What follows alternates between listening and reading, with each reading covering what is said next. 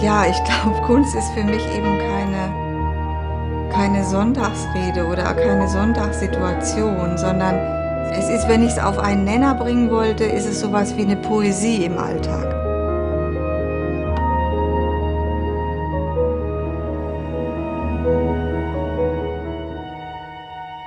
Weil ich, ähm, weil auch das ganze künstlerische Tun für mich sehr stark im Alltag verankert ist. Und ähm, es wird heute so wahnsinnig viel konstruiert, eigentlich unser ganzes Leben. Ich empfinde es als sehr, ähm, ja, ich sag einfach mal angenehm, als sehr angenehm, wenn einem die Dinge entgegenkommen und wenn man sie einfach greift. Wenn sie vorbeifließen oder vorbeigehen, dass man sich das einfach nimmt und, und das deshalb, weil man aufmerksam ist.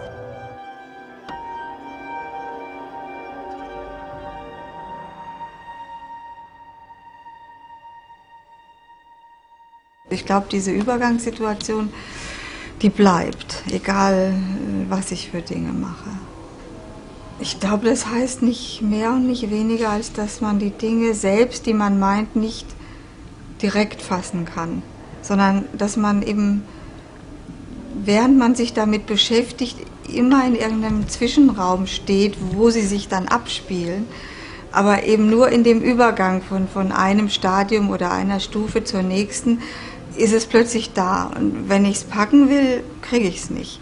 Und das ist einfach auch sehr flüchtig, aber es stellt sich immer wieder ein, wenn man sich mit den Sachen beschäftigt und drauf guckt.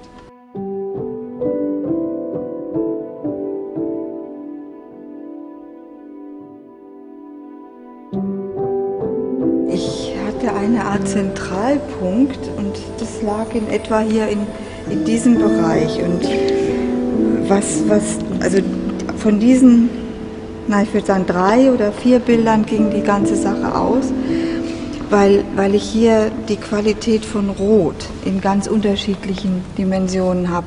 Das ist wie bekannt ja eine Permoser-Skulptur. Und ähm, mich hat sehr fasziniert, als ich das mal gesehen habe, dass Permoser den Marmor äh, wirklich wie, wie Blut auch verwendet. Das ist ja nun auch der leidende Christus. Und ich denke, also allein als ich die Figur gesehen habe, hatte ich schon das Gefühl, da ist, ähm, das ist sehr, sehr ausdrucksstark. Das war ähm, eine Situation, die mir begegnet ist auf der Straße. Da fuhr ich mit dem Auto und kurz vorher war offensichtlich dieser Igel überfahren worden. Und das kostete mich schon eine ganz schöne Überwindung, da auszusteigen und das zu fotografieren. Das hat tatsächlich bei mir zu tun mit der Nähe von ähm, Schönheit und auch Abgründe von Schönheit. Also ähm, das gehört einfach dazu. Deshalb habe ich vorhin äh, erwähnt, dieses Gedicht von Baudelaire, ich glaube, auf das sich Rilke bezogen hat. Da geht es einfach darum, dass man, um wirklich das Leben zu erfahren, Aas einfach auch mal ertragen, also hat anschauen müssen.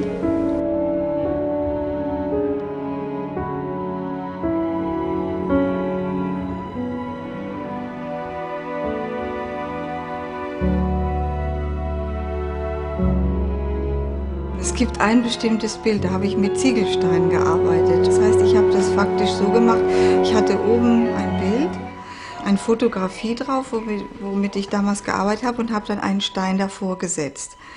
Und plötzlich hatte ich das Gefühl, der Stein selbst braucht nochmal eine Bildfläche. Und dann habe ich sozusagen auf dem Boden ein Bild aufgespannt, eine so eine Leinwand aufgespannt und dort den Stein draufgelegt und habe von dort her angefangen zu malen. Und plötzlich hatte ich meinen aufgeklappten Raum. Das heißt, das Wandbild blieb und davor kam nochmal wie eine, ja, also ein Unterteil und das Ganze wurde eine Bühne, eine Bildbühne. Das hat mich schon immer irgendwie interessiert, wie das Bild in den Raum, sich den Raum ergreift.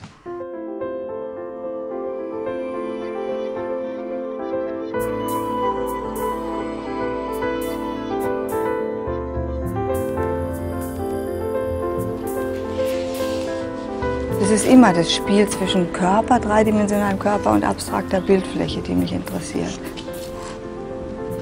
Also ich war damals auf der Suche nach Barockbildern. Und dann sah ich diese plastische Kanzel und dachte, also das ist es. Da, da wölben sich die Dinger ineinander und da ähm, verschnörkeln die sich und weiß nicht, gehen dieses Spiel miteinander ein. Und dann wusste ich, diese, diese müsste es jetzt sein für meine Fotografien. Da habe ich auf kleinem Raum die gesamte Plastizität, um die es mir geht. Und als ich diese Bilder dann hatte, dann war mir klar, dass die Bewegung, die da drin liegt, in eine reale Bewegung übersetzt werden müsste. Ich bin keine Tänzerin, insofern brauchte ich jemand, ähm, der oder die damit, äh, also diese Bewegung aus den Formen rausholt und aus der Bewegung, die ja drin ist, also allein in der realen Kanzel und natürlich auch in dem Bildmaterial. Ja, ich habe einmal ein Kreuz gelegt ähm, weil ich damit zwei Achsen habe. Das ist hier, würde ich mal so nennen, eine räumliche Achse, die einen Bezug zur Kanzel hat.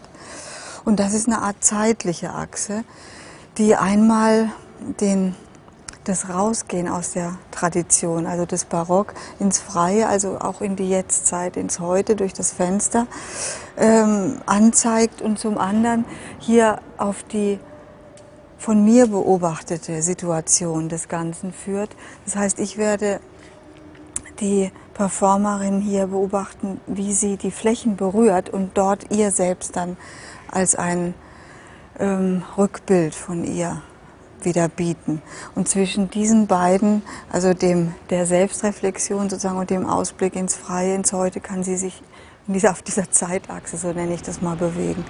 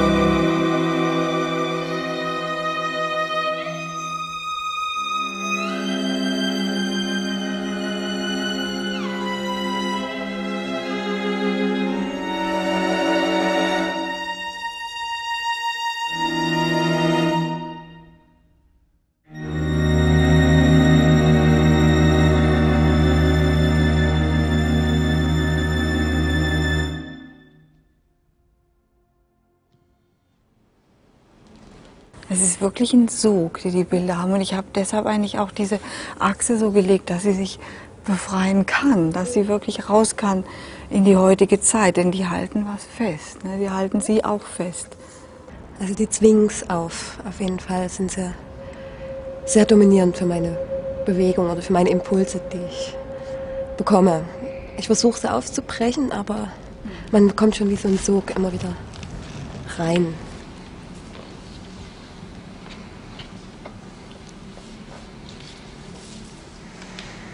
Das war hier auf diesem mittleren Stück, da äh, hat, hatte ich das Gefühl, dass sie wie Linien aus dem Bild holt. Und das kam mir so vertraut vor von meinen eigenen Leinwänden.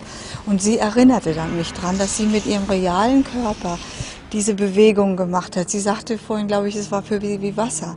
Und dann kam mir diese Idee mit den Wasserfontänen, also als ob hier Wasser aufsteigt. Also stieg, stieg wirklich was in den Raum hinein. Und diese, dieses, also im Grunde die Spannung zwischen Erde und Himmel, also die Energien, die sich dazwischen irgendwie finden, die zu packen zu kriegen. Ja, ich glaube, das ist es.